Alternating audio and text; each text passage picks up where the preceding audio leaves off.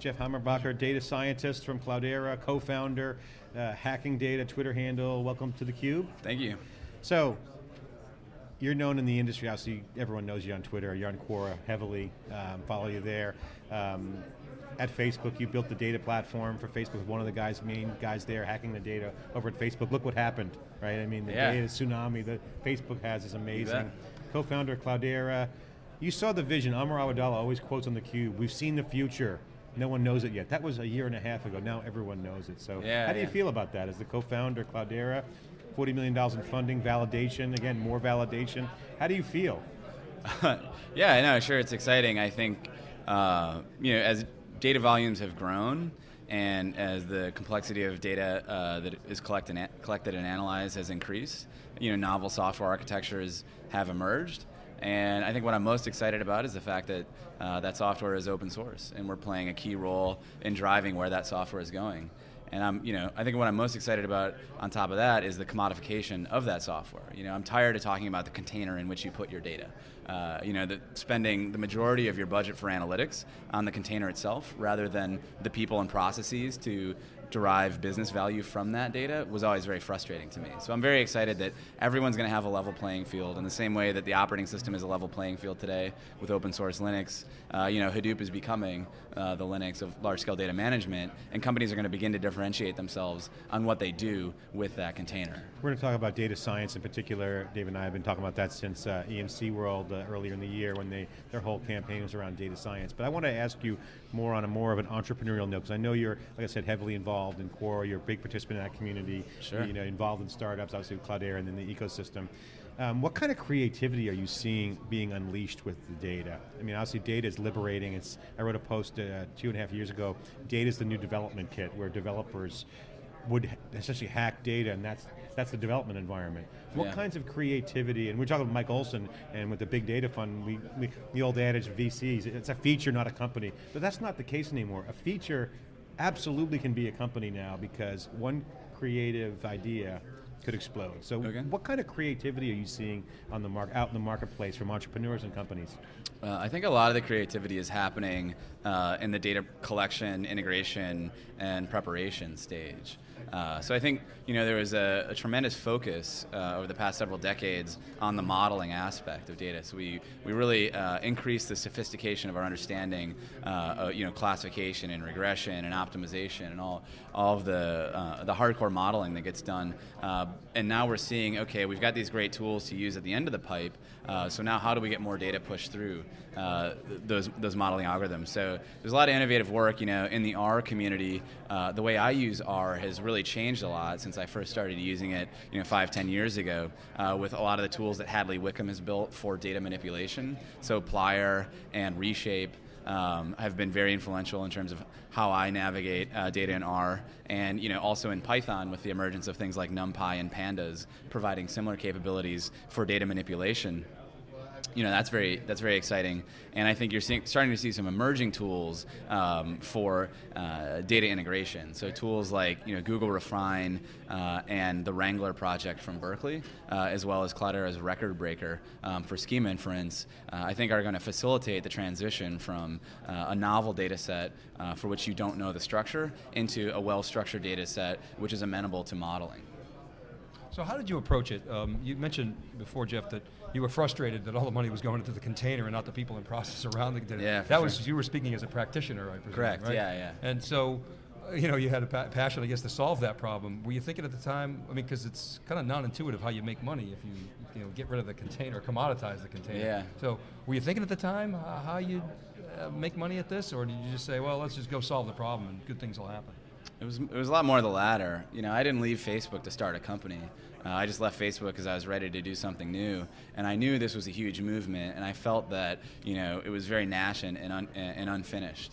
Uh, as, as a software infrastructure. So when the opportunity with Cloudera came along, uh, I really jumped on it, and I've been absolutely blown away by the commercial success we've had. Uh, so I didn't, I certainly didn't set out with a master plan about how to extract um, value from this. My master plan has always been uh, to really drive Hadoop into the background of enterprise infrastructure. I really want it to be as obvious of a choice as Linux. And then, yeah, I kind of assumed that you know once you have that kind of ubiquity, um, the importance of data management and analysis is so clear that that money. You know, we had Marten Mickos as an investor in Cloudera, and he came in and talked early on to the company, and he had a really great line where he said, "At MySQL, we were trying to take a nine billion dollar industry and turn it into a three billion dollar industry, but come out on top." And you know that's not dissimilar from our goals at Cloudera. And you see, like you're, you're, we've talked a lot at this conference and, and others about um, you know Hadoop moving from you know the fringe to the mainstream commercial enterprises, and all those guys are looking at. All right, we heard J.P. Morgan Chase today. We're we're building competitive advantage. We're saving money. Um, those guys do have a master plan to make money. Does that change the dynamic of what you do on a day-to-day basis, or is that really exciting to you as an entrepreneur? Oh yeah, for sure, it's exciting. I mean, what we're trying to do is facilitate their master plan, right? Like we want to we want to identify the commonalities in everyone's master plan, and then commoditize it so that they can avoid the undifferentiated heavy lifting that Jeff Bezos points out. Uh, you know, where, you know, no one should be required to uh, to invest tremendous amounts of money in their container anymore, right? They, they should really be identifying novel data sources, new algorithms to manipulate that data, the smartest people for using that data, and that's where they should be building their competitive advantage. So, what are those commonalities that you see? Presumably, that's where Ping Li is going to be putting a lot of his money. Talk about that a little bit. Yeah. Um, obviously, a lot of the commonalities that we see are expressed in the software we build. Um, so we've seen people not just deploy HDFS as a container and you know MapReduce as a uh, processing infrastructure, but they also deploy facilities for both immutable table structure data storage, so things like Hive, as well as mutable table structure data storage with HBase, which has really been uh, driving a lot of our largest engagements, uh, I will say. But in addition, it's not just the container and structured data storage, it's also the higher level tools for authoring processing tasks. So we recently open sourced system called Crunch, uh, which enables complex workflows uh, in Java that's modeled after Google's very successful Flume Java project. Uh, and we've also you know, brought on board the creator of Oozie for workflow uh, description and management, uh, which is heavily used in a lot of our customer base. So we've identified those tools on top, and we've also built the tools um, for integration. So tools like Flume and Sqoop, uh, I think were fairly uh, unique bets by Cloudera in terms of saying we don't want to just uh, build you a container, we also want to build you the tools to populate that container. Uh, and we've also invested a lot in ODBC drivers, uh, you know, Fuse uh, modules. So we, we, we, allow people to consume, you know, to both uh, perform data ingest reliably with open source tools, as well as to consume data stored in the container with their existing tools with which they're comfortable. Yeah, so you know we love we had uh, unleashing data. Yeah, we had, free just, data. Just listening to you talk, we, we, we love to talk about competition. You know, it's interesting. Sure. We had Amr on before. You guys seem so happy about it. I mean, not sort of sanguine about it, not not freaking out. But when you when I hear you describe the, the innovations that you're developing, I mean, it underscores the the effort that yeah. you put into it and it's not trivial. Yeah, it's not trivial, is it? Sure. I mean, you know, one of the reasons we went out and raised forty million dollars is we genuinely believe that the market is going to support multiple billion-dollar companies, and we want to make sure that we're there first and we're leading. So, um, we're, we're, we really feel that we have a pretty insurmountable advantage in this market. We've been doing it for three years. We've got well over 100 customers. Uh, Amr and myself were end users of the technology before we even started the company, so we, we, we have a, a distinct empathy for our customers, uh, and we really feel that you know we know where the market's going going. And we're very confident in our product strategy. And I think over the next few years, uh, you know, you guys are going to be pretty uh, excited about the, the stuff we're building because I know that I'm personally very excited. And yeah, we're very excited about the competition because number one, more people building open source software has never made me angry. Yeah. You know, yeah, I think yeah. um, I you know I fully support. You know, there's a lot of very great, uh, very solid engineers working at places like EMC, IBM, and Hortonworks uh, that are contributing uh, in a really significant fashion to the platform. So that's you know, those guys are not the enemy. Uh, but more importantly, we want to know that the market will sustain more than one player, right? So the worst, the biggest risk you take as an entrepreneur is market risk. Understanding that there's going to be consumers to support the thing that you want to build, and uh, I, you know, I think it's fabulous that it's not only validation. It's com- I mean, literally complete validation. You've got this Hadoop world really is the cherry on top of the ice cream because it just crosses over with the the, the business awareness yeah, of the problems, yeah. right? Like when you got business practitioners in the audience of a geek talk. Yeah, that's yeah. Pretty cool. I mean, it's happening. Yeah, no. So you got to market.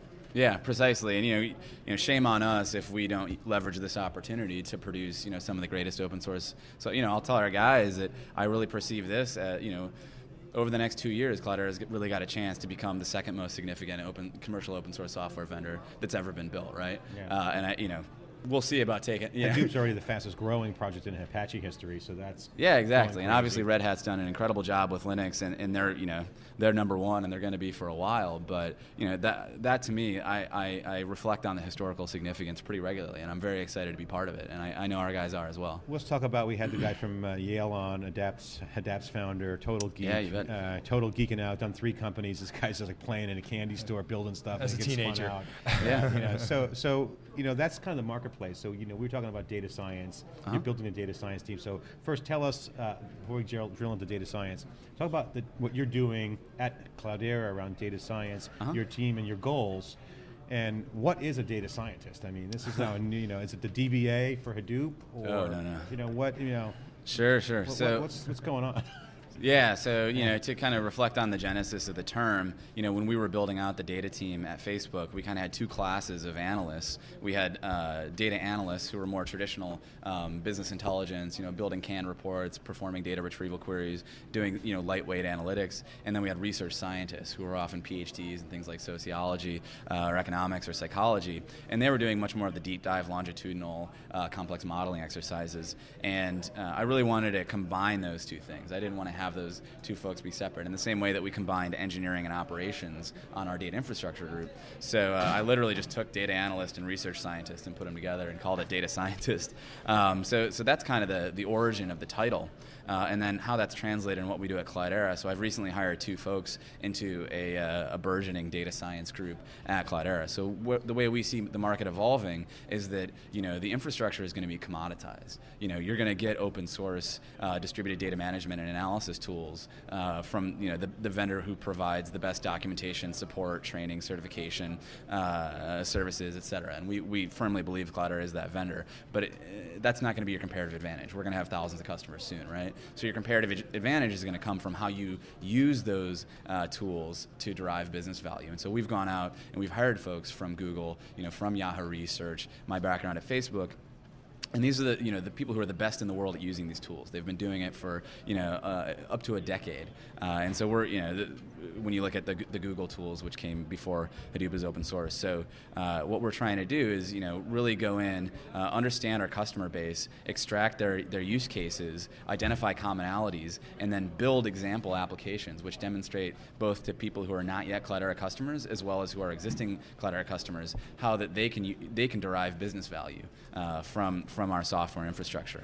Uh, so we, you know, we've got two folks now. We're growing to six in the first half of next year, and we spend uh, we spend a lot of our time just talking to customers and writing code. Same kind of profile you were talking about, the mix of, is there a certain profile in the hiring? uh, yeah, yeah. I'm, mostly, I'm looking for people who've done it before, who've taken you know a large-scale distributed file system and map-reduce infrastructure, as well as the attendant tools for data collection, data structuring, uh, and analysis, and they've built complex solutions which drive you know millions of dollars in, in revenue generation. And so I'm taking people who've done that before and having them ingest uh, other businesses' requirements and generate code, which will do that for them. So yeah, we look for a mix of you know you know engineering excellence as well as a background in statistics and machine learning to be able to understand the modeling algorithms. But most importantly, uh, you know the communications capacity to interact with a business user, ingest their requirements, and translate it into software which will meet those requirements. You're really acting as a business, I mean, as an accelerant for your customers, right? Oh yeah, for sure. That's exactly what we're trying to do is to close the gap between, you know, it's a lot to comprehend. Like even the distributed file system and MapReduce, which are two of like, you know, the 16 open source projects that we distribute to them, even those are hard to grok for our customers. So to expect them to not only understand how the technology works, but then to think through how to apply that technology to their business is a bit too much early on. So we, we've really invested in uh, performing that function for our customers and then training them to do that themselves. Let's talk about that because that's you know priming the pump obviously because the demand is so high for the solutions they don't yet have the personnel in place. What's the mindset uh, for for the folks that are looking to either your customers, Cloudera customers, or Hadoop customers, or engineers and developers that matter, who are new to the game, who might not have done that before because, you know, if that's the criteria, you're going to hire the best of the best. But soon you know you got everybody, and it's like, well, I've never done it. So Right. you got to do it. Someone's got to start, right? Yeah, so what's yeah. the mindset to really be a data scientist? I mean, you know, what is uh, what should we be thinking about? I mean, there's no real manual. I mean, most people are born with math skills, economics, Yeah, and these kinds of disciplines you mentioned.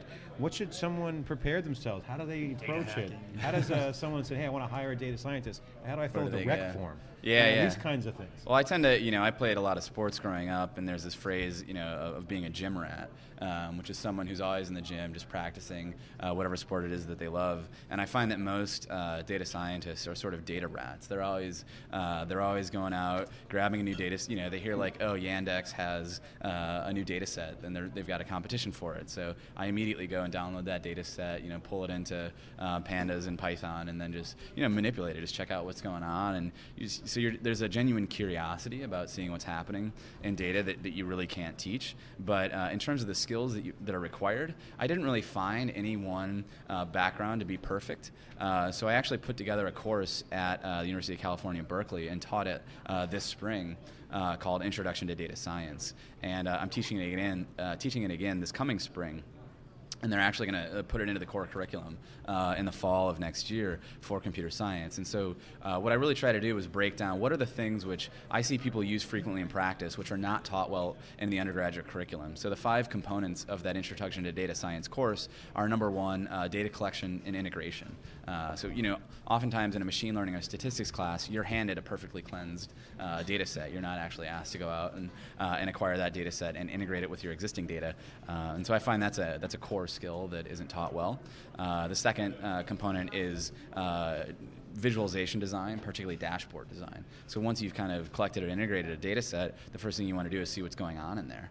Uh, and so visualization is still um, remarkably not taught at a lot of universities, but even when it is taught, uh, it's often taught more uh, on just the chart design. So we're trying to go beyond chart design and also go into dashboard design. So guys like Stephen Few uh, make a lot of money by teaching people how to do this um, in seminars, and I think integrating it into the undergraduate curriculum uh, makes sense. The third uh, component of the course is on uh, large-scale experimentation.